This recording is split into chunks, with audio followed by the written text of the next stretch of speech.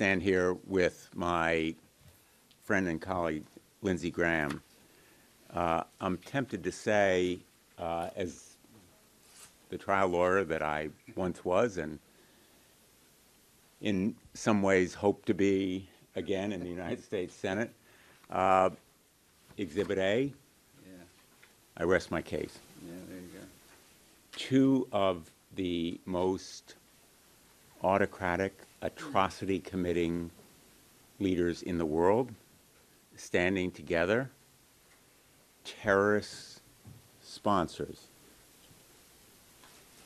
This picture says it all. Russia deserves to be, in fact, it's deeply earned the designation to be a state sponsor of terrorism. And so far as the practical consequences are concerned, yes, sanctions would be strengthened, and yes, there would be practical consequences, but in my view, this message to the world is as important in a moral sense as any practical consequence. Russia deserves to be in this small, selective club of atrocity committing killers. Uh, and Russia deserves to be designated as a state sponsor of terrorism. So uh, we're going to pursue this fight. Uh, it is bipartisan. We have other supporters.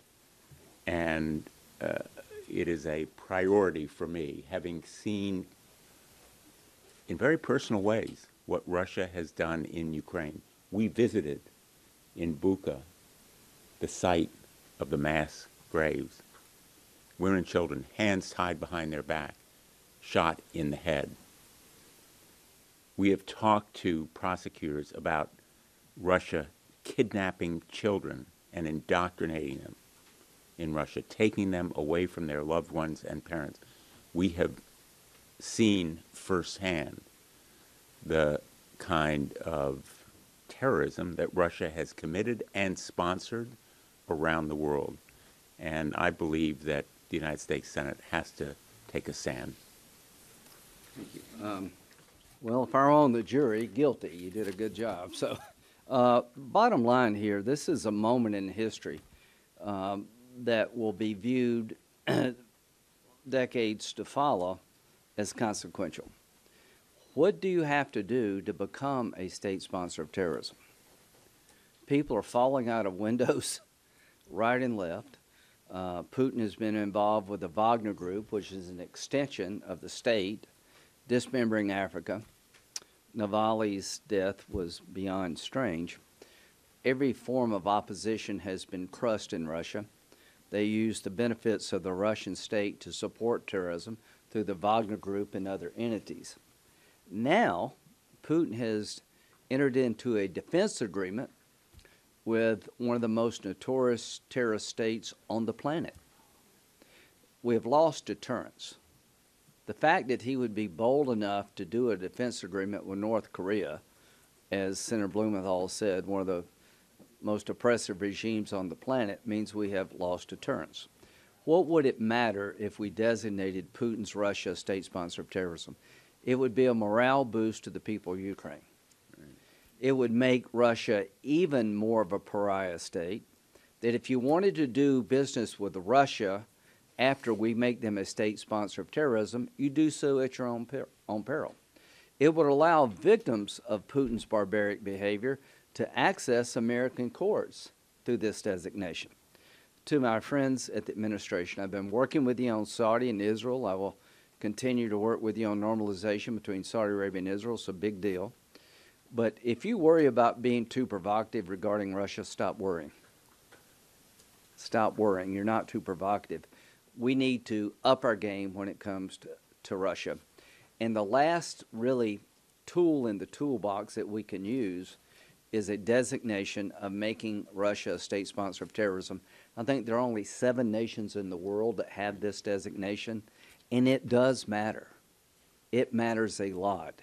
So I would urge uh, Senate leadership to bring this bill to the floor for a vote. We've made Cuba a state sponsor of terrorism. We've engaged with Cuba. It doesn't mean you can't engage. It just means that they wear a label well deserved. Syria, Iran, Cuba, North Korea, and now Russia. So I just end with this. Of all the people I've worked with on national security, Senator Blumenthal has been very consistent. He's a proud Democrat, but when it comes to standing up for democracy, when it comes to standing up to thugs, he's really second to none. I have a pending arrest warrant in Russia. I don't know how they missed you. You make me look like a choir boy. So the bottom line is we're not giving up. We're going to insist on a vote. The best thing we could do, I think, to shape the future is to label Putin a terrorist leader because he is. This would have enormous benefit in Ukraine, I think. So I look forward to being able to have a vote on our bill. And, and I want to just say uh, about Senator Graham, he's not only been consistent, he's been passionate and inspiring uh, in a way that John McCain was consistent and inspiring. And I often think of John McCain at this moment and what he would think about a bipartisan partnership on this issue. And for everybody in this room, think about what Russia has done to its journalists. If there were no other reason to cite the persecution of American journalists and journalists worldwide by Vladimir Putin and the Russian state, that would be my Exhibit B. Exhibit A is the partnership between Kim and Putin marching literally together, their country signing a military partnership hostile to the United States, hostile to peace and liberty and justice around the world. You know, um, it's time for the Senate to take this stand. Any question? Yep. Um, Senator Blumenthal, have you spoken with the, uh, the Biden administration about this, um, with them on the, the text or anything like that? Uh, I know the TikTok bill, for example, uh, the way the House worked that out, that was successful because they worked with the DOJ on the. You guys worked with the administration on the of this? I've talked to the administration about this resolution. They are certainly sympathetic to the goals. We've worked on some specifics. We're going to continue to work with them. But I think it's time now for us to move forward. And they understand that we may have differences of approach or opinion, and I think they respect us for what we're trying to do. If I could just add, uh, he's worked with the State Department, I've worked with the State Department. We're not trying, I don't think we're being provocative by labeling Putin a state sponsor of terrorism. I think we're being rational. I think the designation is earned and would matter. But after the defense agreement between North Korea and Russia, it is time for us to push back. Now is the moment, above all other moments. So I would urge the administration, given what Putin has done yesterday, let's go all in in designating his regime for what it is a state sponsor of terrorism. Here's a general rule anybody that does a defense agreement with North Korea should be a state sponsor of terrorism. Have you guys heard from the administration that this might be too provocative? No. Uh, Two questions for both of you. Uh, First, will you try to bring this up by unanimous if you can't get leadership to promise a vote? And second, are you both attending Netanyahu's address next month?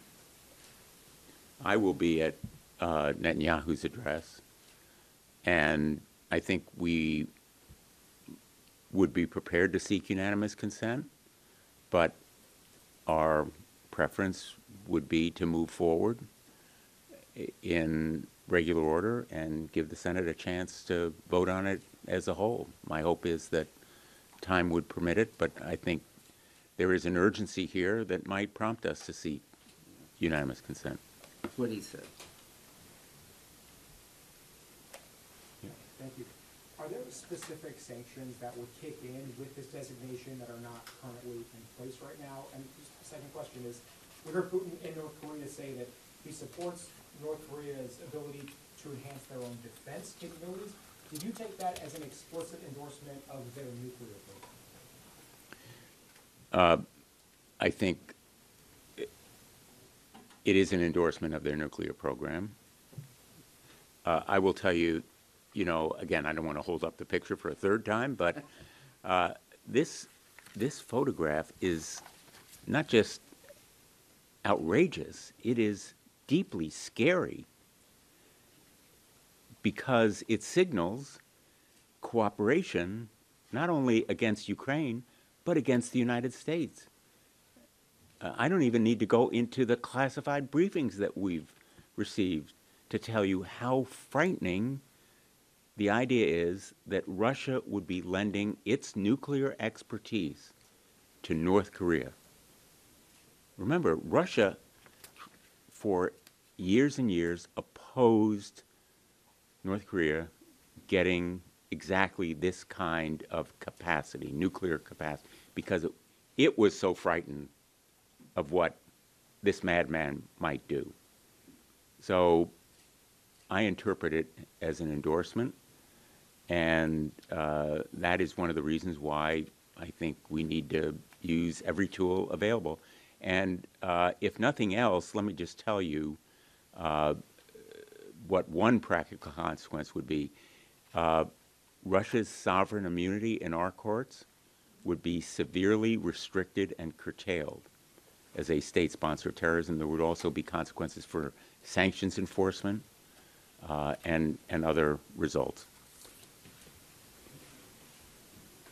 Uh, Senator Graham, question for you. Uh, Have you had any conversations with uh, former President Trump about supporting this? Uh, no, I haven't. I've been trying to get, uh, get the bill put together. Um, be, be a good question to ask him. Uh, bottom line, just what Senator Blumenthal said, not only are they in a defense agreement with North Korea, they may be providing nuclear expertise to North Korea to increase their nuclear arsenal. Now, if that doesn't get you to being a state sponsor of terrorism, what would?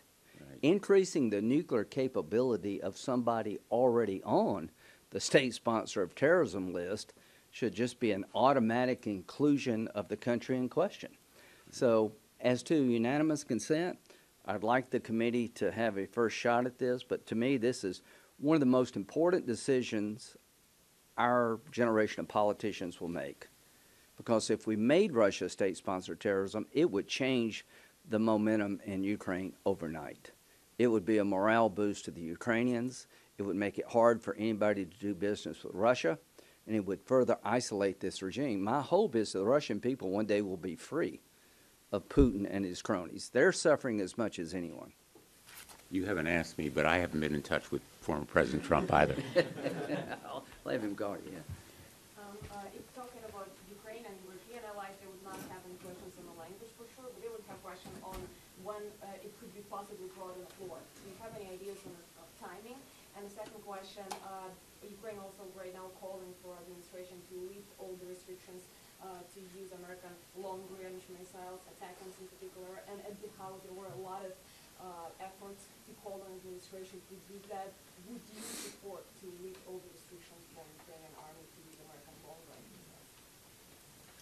Well, I'll give you my view, um, which is uh, I strongly support this resolution, as you've gathered from the passion that we've sought to communicate here. But it's no substitute for continuing military support to Ukraine. It's no substitute Right. for Amen. long-range artillery, ATACMS, and air defense. In very practical, strategic terms, we need to heighten our military support during this absolutely critical time for Ukraine as it seeks to defend itself against a Russian counteroffensive and prepare for its own military action, hopefully early in 2025. And we should permit, very explicitly, Ukraine to attack targets in Russian controlled territory that may be behind the lines. I've endorsed for some time the authority that Ukraine needs to attack Russian command centers, supply depots, just as they are attacking infrastructure in Ukraine. And we need to give Ukraine that authority for longer range targets. I think Senator Bloom, let's go real quick. We'll take one more question. But to answer, we're trying to open up another front. What have we learned? Putin could care less about how many Russians die in his misadventure. You could just kill young Russians um, in perpetuity. I don't think it changes the behavior. But intel tells us that he does care about his money and his ill-gotten gain. The Repo Act, where we're going after sovereign wealth assets of Russia Right. to try to seize them to help the victim of Ukraine, is having an effect. This would open up yet another front. If we made Russia a state sponsor of terrorism, it opens them up to litigation in American courts. It makes it harder for anybody to help him.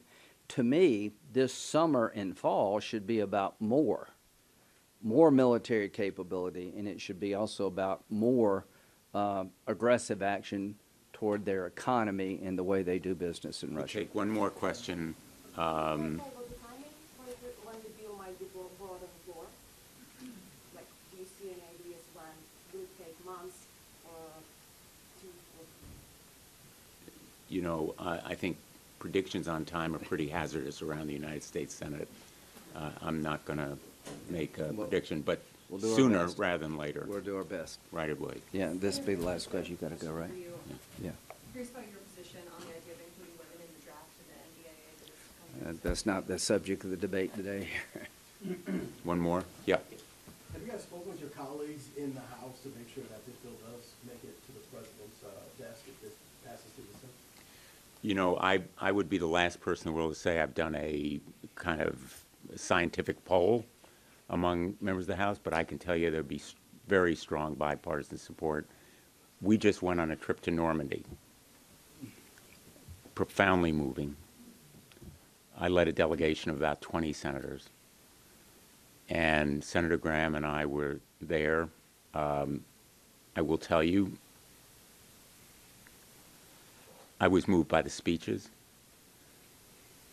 I was affected profoundly by talking to those veterans.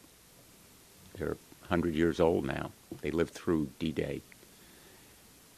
And walking the beach in Normandy, Omaha Beach, where those soldiers landed in eight feet of water and then had to cross three football fields flat, no cover, when they were under a hail of mortars and machine guns.